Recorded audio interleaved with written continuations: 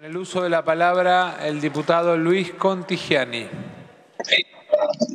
Gracias, presidente. Quiero empezar por algunas conceptualizaciones eh, que surgen a partir de algunos discursos que he escuchado. Creo que lo que tenemos que cuestionar en la Argentina y en el mundo es una economía financiera, es una economía que lava dinero, es una economía que explota a sus trabajadores y que deja un pasivo ambiental en todos los órdenes. Esa es la economía que tenemos que cuestionar en todo en todas partes del mundo. Pero eso no tiene nada que ver con una economía, una iniciativa privada en la generación de trabajo, en la investigación y el desarrollo, en resolver los pasivos ambientales, en hacerlo sustentable. Esa economía es la que tiene que eh, emprender en la Argentina y fortalecerse. Esa es la disyuntiva que tenemos que, que tener en cuenta y diferenciar. En esa economía y mucho más en la economía del conocimiento, Necesitamos que las pymes sean cada vez más grandes y las empresas grandes multinacionales argentinas, como es en Australia, como es Nueva Zelanda, como es en Brasil, en el estrés hídrico, señores y señora, en el estrés hídrico estamos arriba de China y de Estados Unidos y lo hizo la Argentina, aislando este, la resistencia al estrés hídrico. ¿Y saben quién incorporó esa tecnología o esa biotecnología? Una, una empresa que se llama Bioceres, integrada por productores agropecuarios medianos que invirtieron en forma activa con esa tecnología.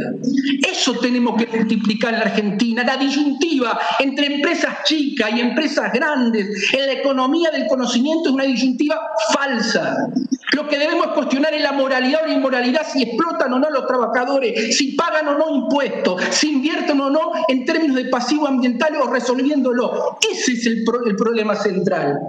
La versión que viene del Senado, presidente, tiene algunos problemas que quiero señalar no lo puedo hacer en Solo quiero decir que han suprimido el Consejo Consultivo que tenía el dictamen de diputados.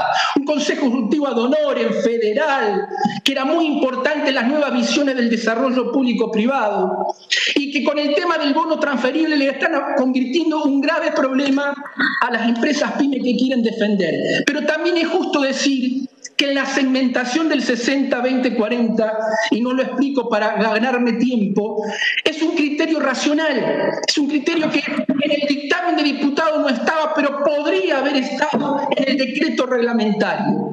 Finalmente, presidente, lo que apelo es salir de las disyuntivas que atrasan, de los dilemas falsos. La Argentina necesita en la economía del conocimiento despegar. Hace un año que estamos perdiendo tiempo. La política no pudo estar al servicio de estos emprendedores.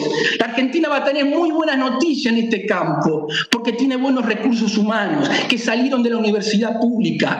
Tenemos que integrar, tenemos que romper ciertos límites a la manera de conceptualizar toda esta problemática, tenemos que empujar, tenemos que convertir a la Argentina en una visión de soberanía tecnológica mundial y regional, no tener miedo, integrar, desarrollar, fortalecerlo. Yo siento íntimamente y, personalmente que el dictamen de diputados, y termino con esto, es superador al dictamen del Senado. No es mi ánimo eh, aquí imputar eh, o rechazar eh, o bloquear eh, ningún marco legal que, lo, que deja el sector de la economía del conocimiento y después lo que dije sin ley. Lo que digo es, los que defienden el dictamen del Senado con su deficiencia y los que defendemos el dictamen de diputado tenemos nuestras razones. Lo importante es que esta noche salga una ley y que sigamos perfeccionando el camino de que entender que la Argentina tiene que tener empresas pymes cada vez más grandes, integradas y multinacionales argentinas por todos lados. Gracias, presidente. Gracias, diputado Contigiani.